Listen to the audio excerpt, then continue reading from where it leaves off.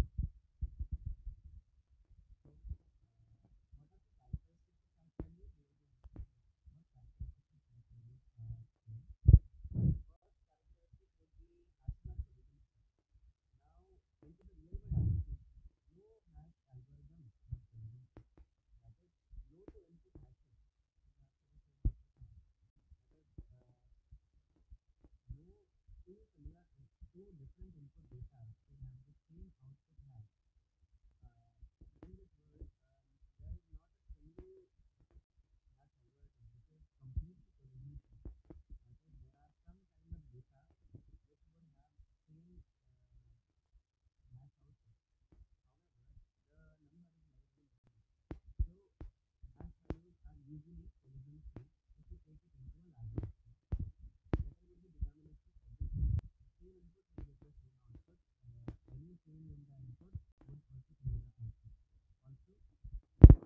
Input would always give out the same output if uh, passed on from the same hash function. That would be fixed size output. Obviously, hashes have this uh, specific characteristics as varied from encryption and decryption methods. That is, uh, they always have a fixed size output. No matter the length or size of the input data, uh, hashes would be of specific size and they can't vary uh, or change from that specific size next point would be obviously hashes should be hidden. It should be very very difficult to guess the original input data from the hash values. That is the algorithm is so difficult or the function is so difficult that it would be very very difficult to reverse engineer the input data and find out the original data. Point would be uh, they are hexadecimal values that is ranging from 8 to f and 0 to 9 they are specified into that limit next point would be that the values are usually used to index a fixed size table called as hash table. That is these values of hashing uh, these hash values are stored into a hash table which is further used as a data um, data storage system where all the hashes along with their index values are stored. And the uh, last and very very important characteristic of hash values is that they are unidirectional or that is they cannot be converted to plain text back that is uh, the hashed values or the hashed uh, input data cannot be converted into input data into the original form as hash values are unidirectional and not bidirectional so uh, we would like to focus on some problems related to hashing one of those problems would be hash collisions. So what are hash collisions?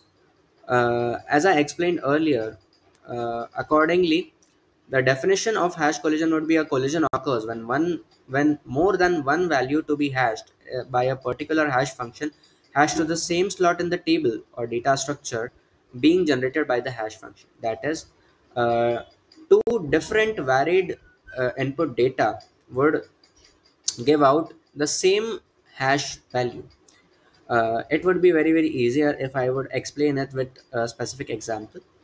So uh, let's take an example. There are certain numbers to be hashed. These numbers would be 22 9 14 17 and 42 as we know these are the input data. These are the numbers which are to be hashed and then these numbers are to be fed into uh, a hash table uh, or these uh, the index values which we get from uh, these numbers are to be fed into the hash table. So as we see um, there is certain hash function which is to be used to generate the hashed values or indices of these keys or these numbers to be input into the hash table. So the function to be used here is the value hashed mod of 10 value to be hashed mod of 10 that would be the formula we will be using here. So as we know uh, we would be using uh, this formula or this function. So the first number to be hashed is 22 uh, now first we'll put into the function. The function would use the formula that is 22 mod 10 and it would result and give us answer as 2 so this 22 number would be fed into the second position of the hash table Similarly occurs with 9, 9 mod 10, the hash function, and the 9 would be fed into the ninth position of the table. Similarly with 14 into the fourth position, 17 into the seventh position. Now, uh, coming on to the fifth number, that is 42, uh, when we do 42 mod 10, that is pass it through the hash function, we also get the 42 uh, index to be placed into the second position. Now, as we know, 22 is already present in the, the second position of the hash table. So here 22 and 42, both of the numbers are different varying input values, but they both have a similar hashed output. This is also termed as hash collisions. That is, two different individual values, two different individual input values would have the same hashed output. That is 2. Now, as before, the hash table would not be able to accommodate two numbers into the same uh, into the same spot. So to avoid this uh, hash collision certain measures are taken by hash algorithms or uh, hash functions. So one of those methods is linear probing. That basically that if 42 is uh, also getting the indice as a second position. Then the 42 is to be placed into the sec next empty position into the hash table. That is if the third position is vacant then 42 would be placed into the third position. So this is called as linear probing. That is uh, it is a brute force method going one by one uh, checking if there are some vacant empty spaces into the hash table and the value would be placed uh, to the nearest vacant position uh, linearly. This is called as linear probing. Similarly, is done with quadratic probing. Uh, and these are some methods which can be used to avoid hash collisions and which are primarily used by hash functions like SHA and MD5 uh, to avoid collisions. So, um, what are digital signatures? Uh, digital signatures and how hashes are used in digital signatures. So, take for an instance, the, there are some documents or data which is to be signed digitally. So, we have to verify if the data which we receive or the signature which has been done is uh, authentic or not. So, uh, how would we do that? primarily the whatever data which has to be firstly checked if it is uh, changed or not first that data has to be hashed using a hashed algorithm and then uh, this hashed value is used to encrypt uh, and this hashed value is encrypted using a private key encryption. So this specific digitally signed document is firstly hashed and this hash value is uh, encrypted by a private key. So we get a specified uh, encrypted document digitally signed document or digital signed signature.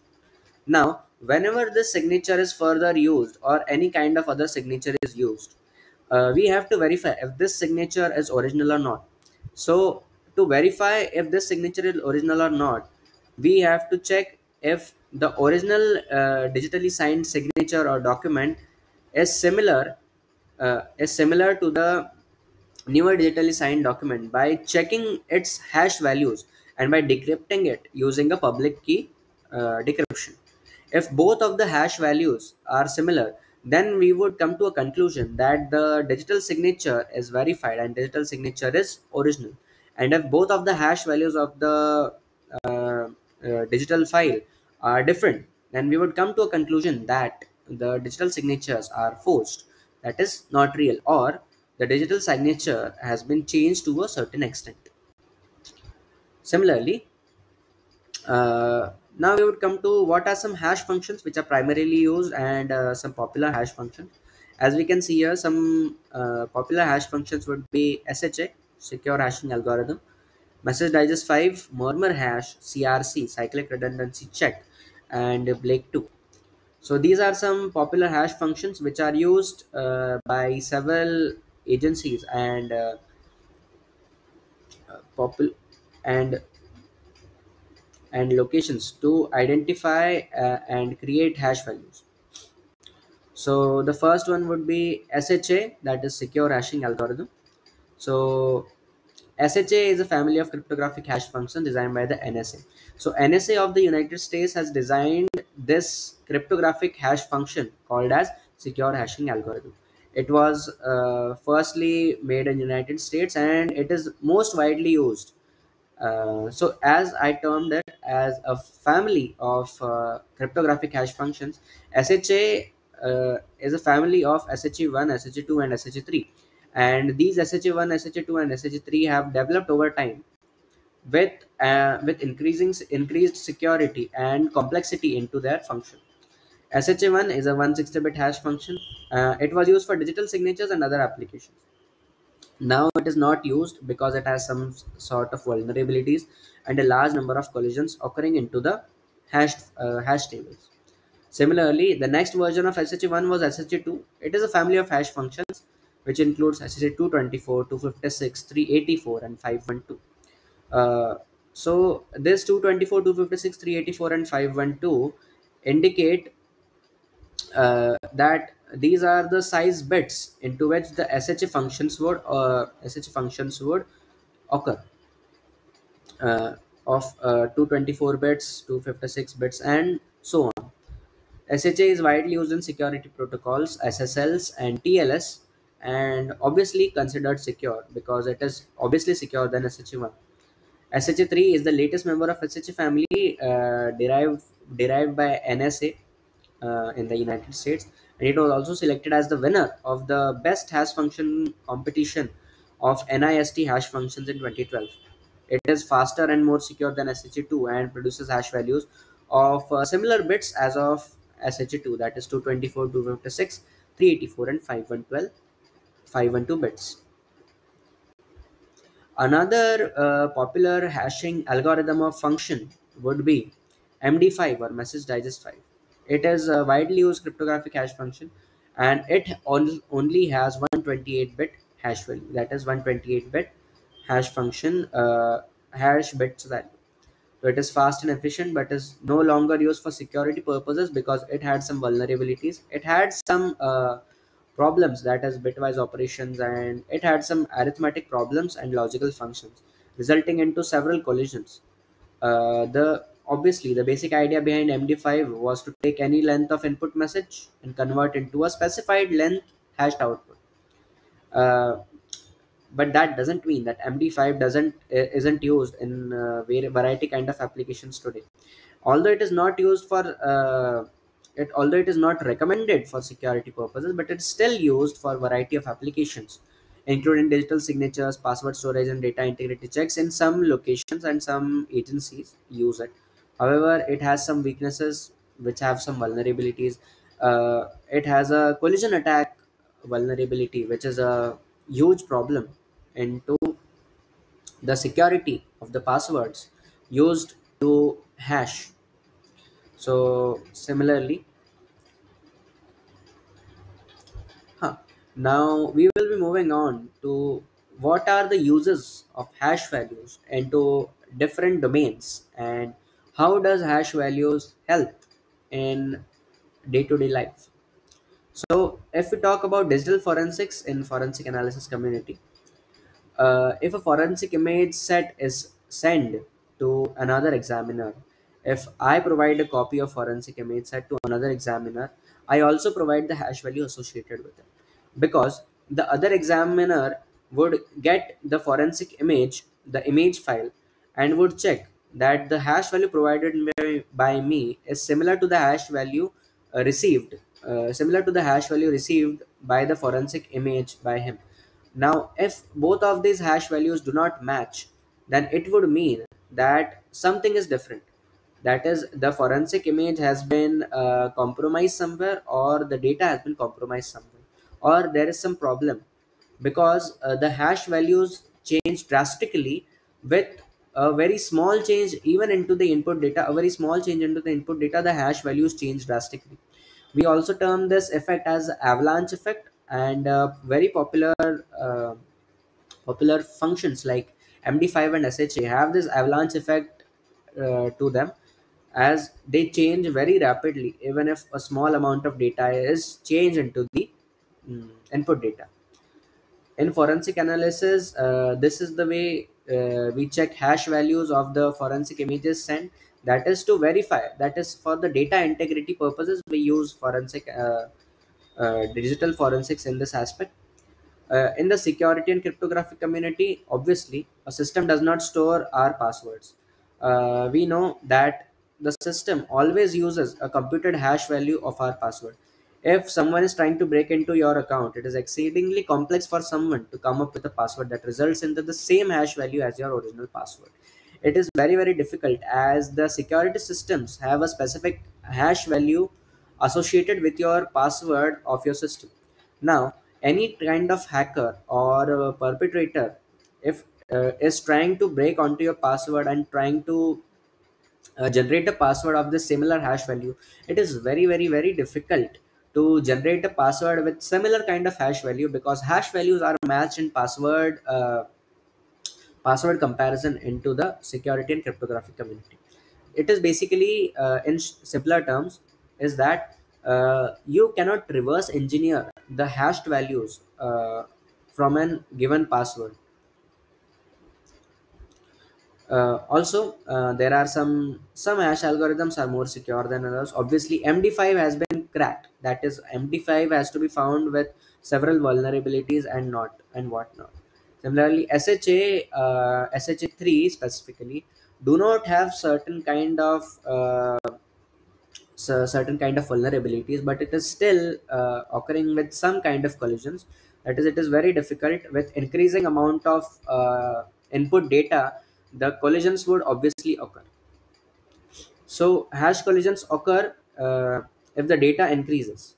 So hash algorithms should be chosen accordingly uh, according to the input data and what kind of data are to be used or to be stored.